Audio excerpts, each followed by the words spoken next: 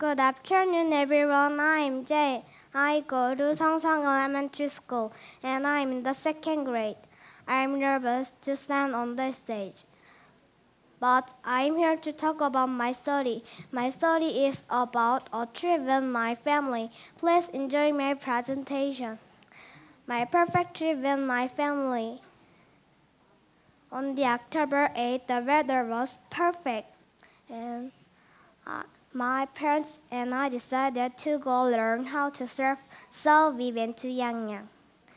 We stayed at Sol Beach Hotel.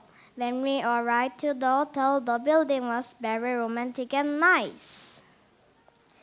The outside view from our room was just great too. When we started surfing, it wasn't easy.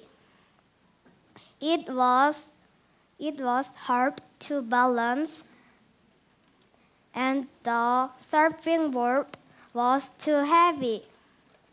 However, when I stood up on the board, I felt awesome.